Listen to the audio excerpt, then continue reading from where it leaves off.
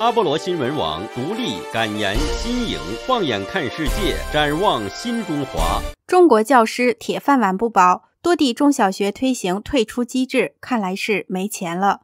习近平破格提拔，路透爆料，李强曾通过背后渠道绕过中共证监会。彭博社报道，美国众院议长麦卡锡证实将与蔡总统在美国会面。中国就业形势多严峻，传监狱免费劳力都失业。欢迎收看阿波罗网主频道热点直击。今天是三月八号，星期三。下面请看详细内容。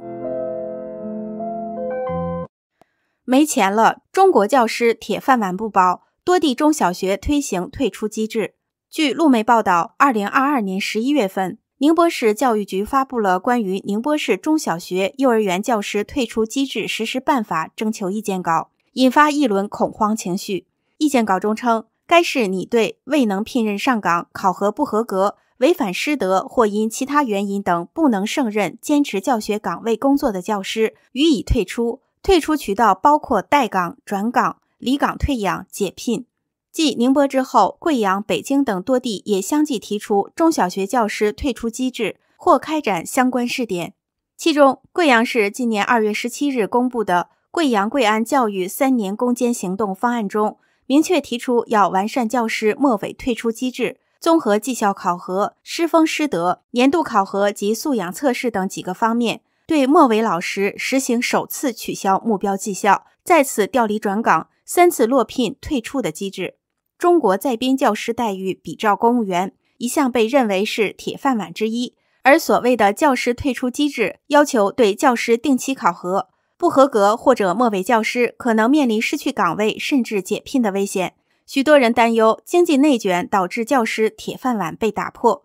中共财政吃紧，河南和一些西部经济落后省份经常传出公务员和教师发不出工资的消息。去年九月，山西省河曲县精简机构一度引发舆论关注。两个月之后，经济相对发达的宁波市也传出教师铁饭碗不保的消息。再次打击了人们对中国经济的信心。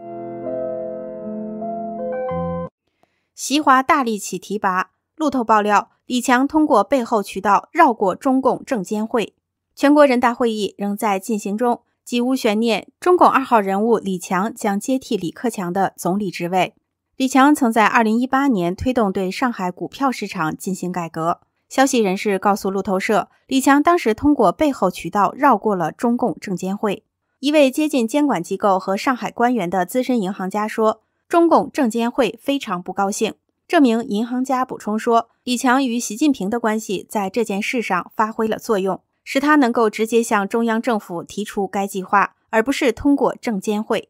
证监会没有对路透社的置评请求作出回应。”李强去年担任上海市委书记期间。因对该市实施两个月的灾难性防疫封锁而引发民众不满和抗议，这次封锁关闭了上海的经济，并给居民留下了心理创伤。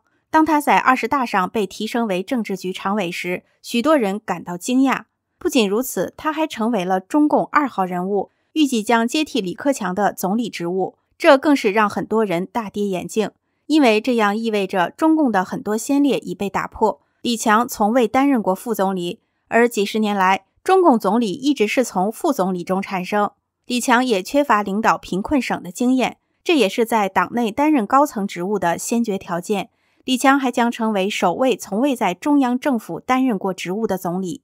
欧亚集团高级中国分析师牛奔说：“现在李强是一个国家领导人，在一个怀疑市场的老板手下工作。”他必须在经济增长和一系列社会、技术和地缘政治目标之间取得平衡。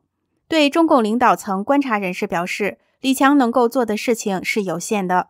前上海政法大学副教授、现居智利的评论员陈道银说：“李强可以在这里和那里做一些修补，但他不会拆墙建新。”新加坡国立大学副教授吴木銮认为，由于习近平控制一切，习领导下的总理由谁当不再像以前那么重要。彭博报道，美众院议长麦卡锡证实将与蔡总统在美会面。据彭博报道，美国众议院议长、加州共和党众议员麦卡锡周二七日晚间接受访问，被问及是否和蔡英文总统见面时，表示两人今年将在美国会面。但他补充，这和我之后的出访行程无关，和我是否前往台湾无关。中共不能指使我何时何地该出现在哪里。麦卡锡也强调，两人的会面并不能排除他后续访台。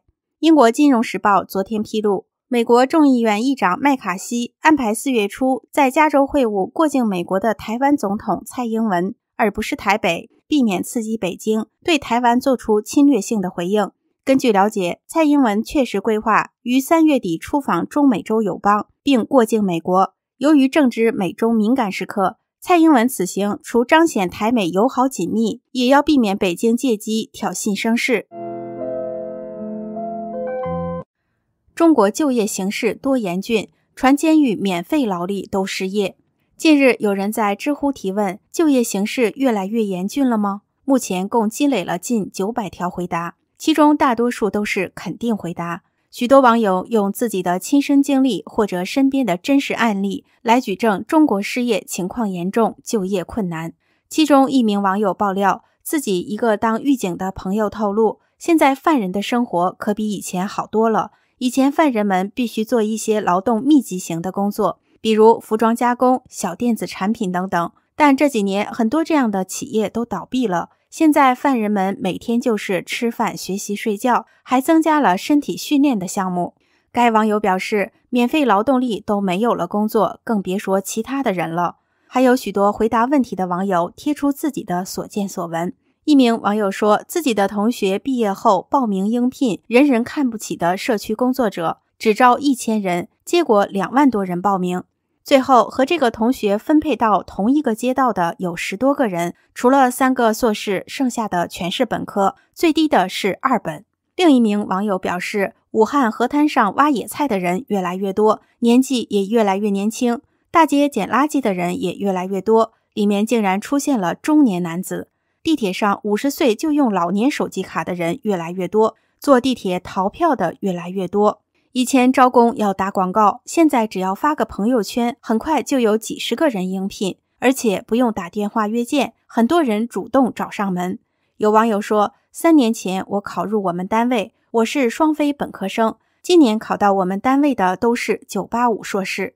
还有网友说，前两天想进太原富士康，结果听我厂里边朋友说招两百来三千，打螺丝都抢不上，什么概念？一名网友爆料提到两个细节：前几天市里人社局组织一场招聘会，还没开始，外边就人山人海了。一看形势不对，保安就开门放进去一部分人，然后关门不让进了。外卖骑士越来越年轻，不认路的也多了。以前几个月能看到一个女骑手，现在一星期见了十几个，有一个应该也就二十四岁左右。骑手普通话越来越标准。动员兵被送到前线当炮灰，一个团两天就打光，全团只剩两伤员。河南悬赏通缉一政法委副书记，细节曝光。大五毛周小平入全国政协，提案被指恐怖主义。陆客自由行，陆委会批北京没解除禁令，他呛口惠实不至。